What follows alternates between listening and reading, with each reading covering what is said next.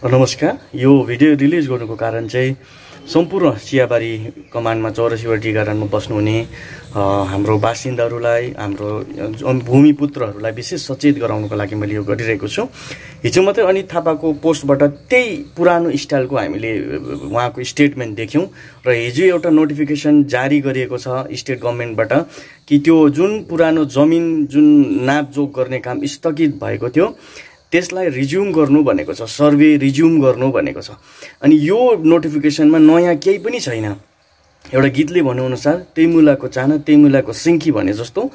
त्यही पुरानो पाँच डेसिमल पट्टा होमस्टेड पट्टालाई नै घुमाइ फिराइ लेखिएको छ। यसमा नयाँ जमिन काहीँ पनि लेखेको छैन अनि यसमा बाउ बाजे पुर्खादेखि बसेको जमिन दिन्छ भनेर पनि लेखिएको छैन।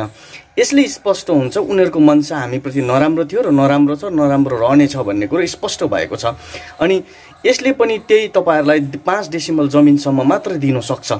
यसैले यो शरणार्थी बनाउने पट्टाको हामीले घोर विरोध गरेका थियौँ र यसपालि पनि हामीले विरोध गर्नुपर्छ। सबै सङ्घ संस्थाहरू अगाडि आउनुपर्छ सचेत नागरिकहरू आउनुपर्छ अल अपोजिसन पोलिटिकल पार्टी जो जनताको पक्षमा खडा हुनुपर्छ भन्ने विशेष म अपिल गर्न चाहन्छु। अनि म प्रजातान्त्रिक मोर्चालाई म विशेष निवेदन गर्न चाहन्छु र होसियारी गराउन चाहन्छु सत्ताको मातमा नमातिएर जनताको भावनालाई कुल्चने प्रयास नगर्नुहोस्। यसको परिणाम भविष्यको दिनहरूमा तपाईँहरूलाई जनताले राम्रो गर्ने छैन। यसैले यसमा पनि हामीले बाउबाजेको जमिन फर्कायौँ सबै पाउँछ भन्ने जुन अफवाह छ यो एउटा अफवाह मात्रै हो। पुरानै रक्सी हो नयाँ बोतलमा हालेर दिने कोसिस गरिँदैछ। यसलाई जनताले विरोध गर्नुपर्छ। त्यो चिठीमा स्पष्ट लेखेको छ। चिठीमा कहिले पनि बाउबाजेदेखि बसेको जमिन दिन्छु भनेर लेखेको छैन।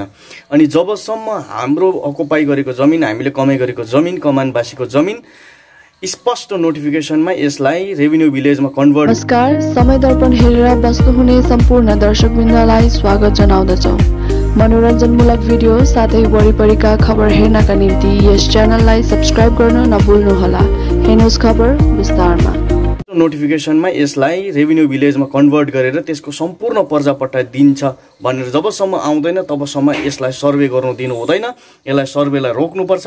जनता सबै अगाडि आएर यसको घोर विरोध गर्ने र सम्पूर्ण टी गार्डनको बासिन्दाहरूलाई अघि आएर सचेत भएर हो हल्लामा होइन हो तर यो सही के हो गलत के हो त्यसलाई छानबिन गरेर विशेष गरेर यसलाई विरोध गरिदिने किनभने यो पट्टा तपाईँहरूको लागि घातक हुनेछ यसले शरणार्थी बनाउने पट्टा हो। यसलाई अघि चाहिँ सबै मिलेर विरोध गर्ने र गोरामोमो पार्टीको तर्फबाट यसलाई हामी घोर प्रतिवाद गर्छौँ। यस्तो खालको जनताको आँखामा धुलो हाल्ने काम गर्नु हुँदैन भन्ने हामी स्पष्ट राख्न चाहन्छौँ।